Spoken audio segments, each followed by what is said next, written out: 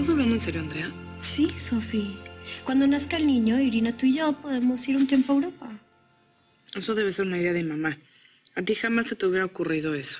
No, claro que no. Ella ni siquiera sabe que te estoy proponiendo esto. ¿Qué pasa, Andrea? Hace varios días que te veo triste. Es que no estoy bien. Me quiero ir lejos un tiempo, pero no lo quiero hacer sola. Está bien. Te voy a proponer algo, ven acá. Mira, yo necesito tiempo para pensar en mi hijo para que nazca sano y fuerte. Y después vemos qué. ¿Ok? Ok. Sí. Perdón, Sofi. Es que siento que es lo mejor para las tres. Mira, Irina está haciendo un comercial y si de verdad quiere ser modelo, pues le va a ir mejor en Europa, ¿no crees? Pues no lo sé. Como tampoco sé si lo que está haciendo Irina sea lo mejor en este momento para ella. Yo sé que siempre estás escondiendo la verdad cuando le dices que tú la quieres. Porque tú sabes que dentro de tu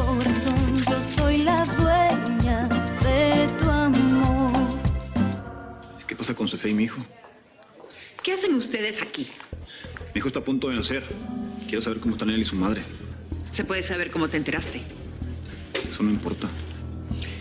Te advierto que si te acercas a Sofía y a mi nieto, voy a mover cielo y tierra para alejarte de ellos. Mamá, no, por favor, no vayas a armar un escándalo. Váyanse de aquí o los mando a sacar con seguridad. Señora, primero la van a sacar a usted por escandalosa. Mira, tú no eres nadie para insultar a mi mamá. Nosotros también somos familia del niño.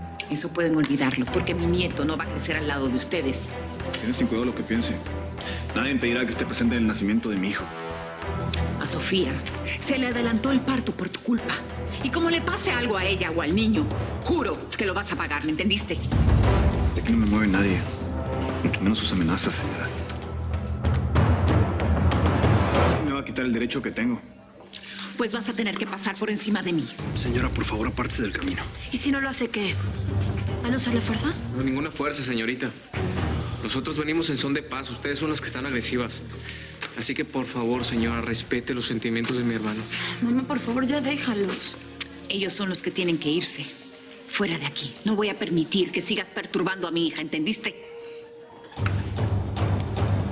Te acabo de decir. Tú no vas a ninguna parte. Escúcheme bien, señora. Yo una vez le dije que nadie me va a separar de mi hijo. Ni siquiera usted.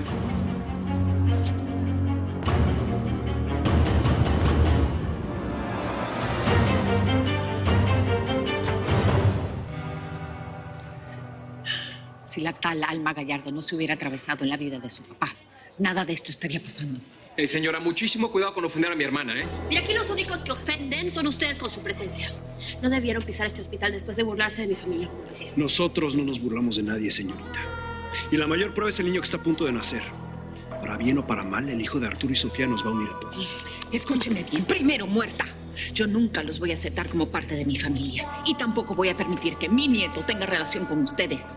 Pues a ver cómo le hace, porque nosotros somos sus tíos. No, no, no, mamá, Ustedes no son nada de mi nieto. Escuchadme, ven, ven, Mamá, nada. ven conmigo, Si yo pudiera hacerle una transfusión a mi nieto para que no fuera un gallardo. mamá, ya. ¡Suéltate! ¡Suéltame!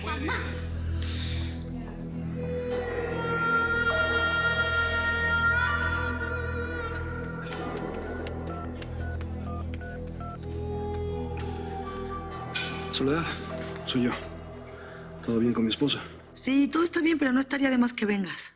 Digo, para que la señora no esté sola en su habitación. Ay, tiene razón. Bueno, por favor, quédate con ella en lo que llego. Voy a tardarme un poquito, ¿sí? ¿Pero algún problema? No, no. Es que estoy en el hospital con mis hermanos. Sofía está a punto de dar a luz. ¿Ya? ¿Pero cómo si faltaban unas semanas? ¿Está todo bien, Samuel? Pues no, no creo. Arturo, Arturo está dentro con ella. Bueno, pues avísame cuando tenga noticias, por favor. Está bien, así será. Si las miradas atravesaran, ya estarías lleno de hoyos. Yo no sé por qué la bruja no se fue con la bruja mayor y su hermana. Respeto, que mi muñeca no es ninguna bruja, ¿eh? Me vas a poner nervioso. Suficiente tengo con las miradas que nos está echando Andrea como si apestáramos o algo. Sí, sí. Dame un segundo. Fernández. Sí, ya estamos aquí en el hospital. ¿Ok? Te veo la entrada. Voy por Fernández. Cuidado.